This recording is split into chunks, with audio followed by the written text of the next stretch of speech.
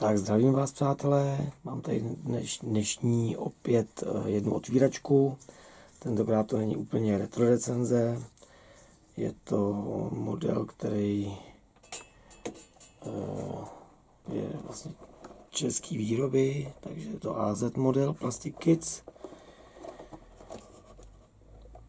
A je to slavný letoun Polikarpov Po 2, neboli CSS 13K62. Tady, to, tady ten by měl být z, z korejské války, tady ten přebal, tady ten obrázek, ale jsou tam pro mě zajímavější určitě přebaly. Na druhé straně máme kamufláže, máme tady český, český verze, finská je zajímavá, tady vlastně ta korejská, je černá, taky by to možná ty černý, no, asi mě nejvíc bude lákat ta česká, i když uvidíme, uvidíme nebo možná nějaká původní ještě sovětská z druhé války, jestli nějaká taková bude. Tak, podíváme se opět na Scalemate. Tak a na Scalemate teda nám to píše, to je přesně tady ten přebál, to můžete vidět.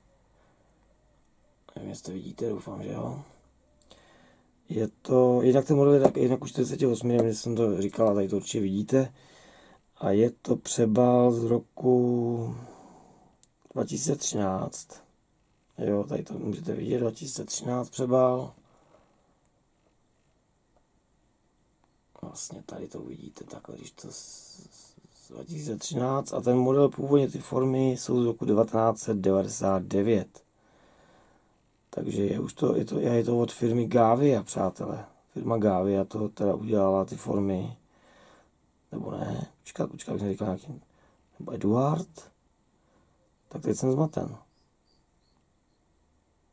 No, já se tady v tom žebříčku úplně nevyznám.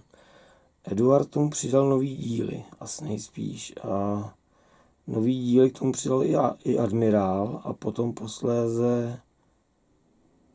Hm, jo, no to je admirál, tady to, to je, to je admirál, jo. AZ model admirál, tady to vlastně vidím. No nic, tak to prostě je to původně tak Avia asi nejspíš. Ještě jsem ten model, přátelé, ani vůbec neodevřel, takže jsem moc zvědavý na to, jak to bude vypadat. Takže vlastně podíváme se ještě, co tady po stranách ty krabičky. Tady máme opět, nějaký psaný, psaní stavebnice, tady v češtině, v angličtině, aby jsme to nevdechli, ostrý díly, že jo, takže pro malý děti to není. Tady máme pak ještě další dvě kamufláže, tady ty kamufláže jsme si už ukazovali. Jinak tady to je v barvách firmy Hambrol označení, samozřejmě převodník a můžete to převízt, pokud chcete jinýho. Tak, otevřeme to, podíváme se na to. A tady už to vypadá docela jako, jako novější, přátelé. Jsme zvyklí přebalovat ty starší modely. Tak, kudy se do toho leze?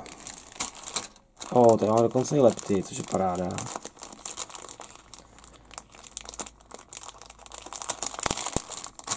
Takže to bude úplně asi možná úplně první otevření celého toho, ty krabičky celého toho modelu. Něco nevytratil, snad ne. tak, tady se můžeme teda podívat, nejdřív podíváme na ten návod, pak budeme pokračovat s dalšíma věcma. Tak, překáží tady. Takže máme tady vlastně počet tří rámečků, jednoho eh, jedných plechových dílů neboli leptů a prosklený díly to jsou vlastně ty, ty vlastně přístrojové desky a štítky. Tady máme pak teda, jak jsem říkal, ty hambrole. Tak, můžeme se podívat na celý postup stavby. Je vidět, že to je poměrně detailní model. Určitě k tomu bych si chtěl, jak, jak, má, jak mají kluci, někdo teď někdo to stavil. Někdo stavil teď, nebo staví tu, tu Polikarpova taky a má tam, má tam sovětský pilotky. tak to by možná byly zajímavý sovětský pilotky. Takže tady máme, ty, ty motory vypadají docela pěkně, že jsou vlastně ty válce zvlášť dělaný, zvlášť ty tyčinky, ty se vlastně musí nebo ty, já to nevím, jak, se to, jak se to jmenoval Šimone, ty jsem to poradil, jak se jmenují ty, tyhle ty, ty, co vedou z těch motorů do prčici, táhla, nebo co to je, já nevím, co to je. nevadí, nevadí, nebudeme, nebudeme se s tím trápit.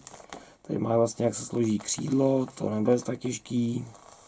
No vůbec ten model vypadá celá poměrně jednoduše. Tady pak bude největší problém samozřejmě tam dát to tu geometrii těch křídel a tam to bude mít ty výplety, že jo. Tady teda koukám výplety vůbec neukazují, jak, jak patří. O, dneska máme takových plánů, že to není vůbec problém, že jo. Tak, podíváme se na obtisky. Ty vypadají velice pěkně. Soutisk je pěkný, precizní. Nějaká erata, HDM erata, nevím, kdo to dělal. Takže ty vypadají v pohodě, samozřejmě to on taky, takhle kolikrát ty obtisky vypadají v pohodě, pak se začnou trhat, že nebo to, tak budeme doufat, že v pohodě budou, protože tady bych si chtěl určitě postavit jednou. Tady máme ty finský znaky, polský, severokorejský a jaký ještě? Český samozřejmě. Tady se podíváme teda na ty, na ty uh, lepty, ty vypadají poměrně slušně.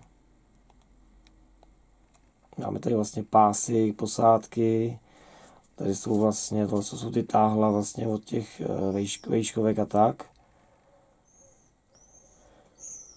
Jo, tady vlastně přístrojová deska. Tady máme ty štítky na druhé straně, ty vypadají taky slušně. A přístroje. Tak, jdeme na, na model samotný, takže začneme těma polovinama trupu. Tady můžeme vidět, že má moc pěkně udělaný ten vnitřek, tu, tu konstrukci.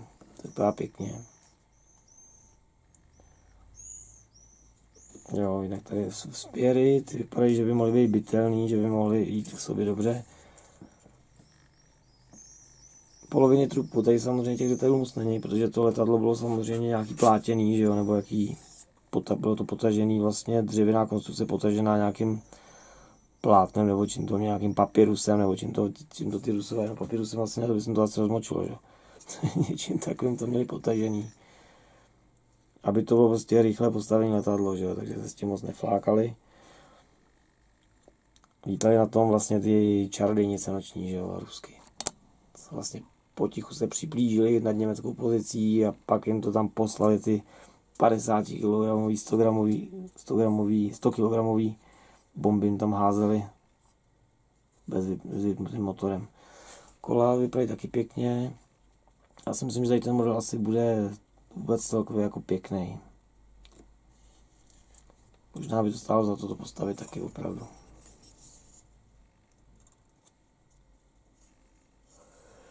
Takže to máme křídla, teda křídla. Tohle máme křídla, to byl trup.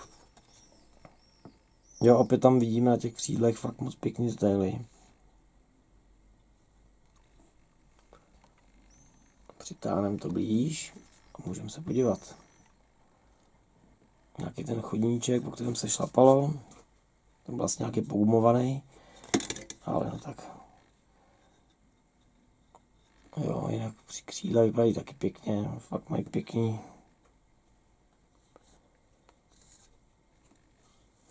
Pěkný zajíky, pardon.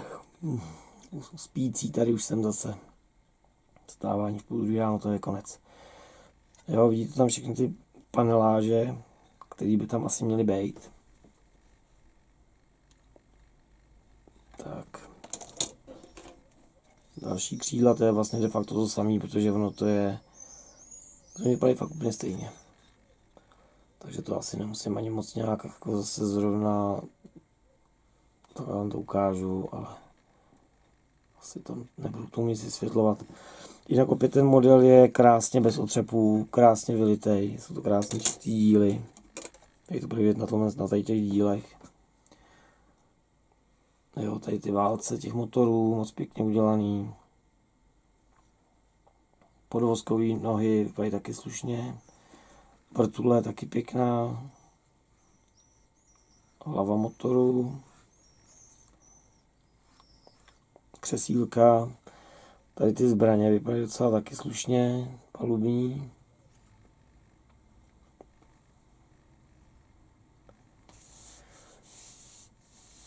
Jo, myslím si, že to je fakt jako pěkný model. Já se umluvám, že tady usnu to. to snad není možný. máme pěkně udělaný ty, ty kniply, to se mi líbí. Nějaký výfuky těch, těch motorů. Podvozkový už jsem vám ukazoval asi s těma tlumičema. Tady krásný, ty krásný palubní desky. Tam jsou k tomu teda ty lepty, takže to je optimální. Tady mám nějaký zaměřovač, nebo co to je. A tohle co to vypadá jak ve Swordfishovi, tam byla taky takováhle na, ty, na, ty, na, tu, na tu kabinu. Tady máme pěknou podlážku pilotů.